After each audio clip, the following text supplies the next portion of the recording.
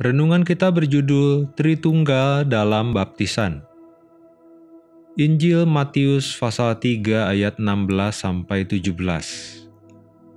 Sesudah dibaptis, Yesus segera keluar dari air dan pada waktu itu juga langit terbuka dan ia melihat roh Allah seperti burung merpati turun ke atasnya. Lalu terdengarlah suara dari sorga yang mengatakan, Inilah anakku yang kukasihi, kepadanyalah aku berkenan.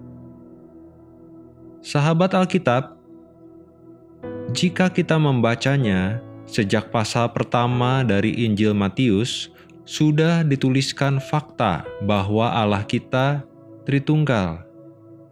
Keberadaannya itu ditunjukkan lewat kata-kata Kristus atau anakku, kemudian Roh Kudus, lalu Allah dan Tuhan. Tiga pribadi yang berbeda, tetapi satu Allah yang esa.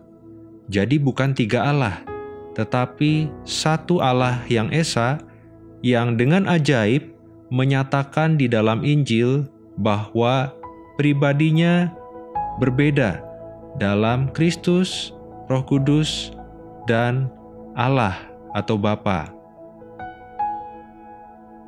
Saat Yesus dibaptis Yohanes, jelas sekali ada tiga pribadi, yaitu Yesus, Roh Allah, dan Allah, yaitu Aku, suara dari sorga yang berbicara pada Yesus.